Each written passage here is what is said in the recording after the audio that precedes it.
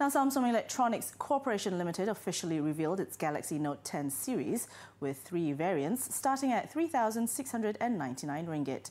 Touted as the world's most powerful mobile device, the Note 10 phablet, which comes in two sizes, is set for release on August 23rd with pre-orders accepted from yesterday until August 18th. The Galaxy Note 10 entry model comes with 256 gigabytes of internal storage and a 6.3-inch cinematic infinity display. For the larger model, dubbed Galaxy 10 Plus, Samsung said it features the biggest Note display ever at 6.8 inch of the same display. Additionally, the Galaxy Note 10 now comes with a redesigned unibody S Pen with additional features like Air Actions, as well as converting handwritten note to digital text in Samsung Notes and exporting it to a variety of different formats.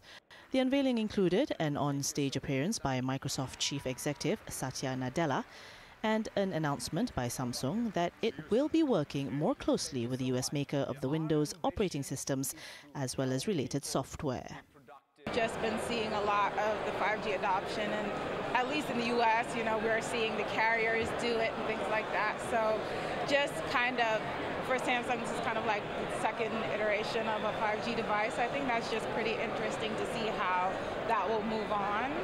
Meanwhile, the tech giant also unveiled a new Galaxy Notebook computer coined as Super Slim and Ultra Light with a mobile data chip from Qualcomm and a built-in Microsoft Windows software. It will hit the market in September at a starting price of 999 US dollars.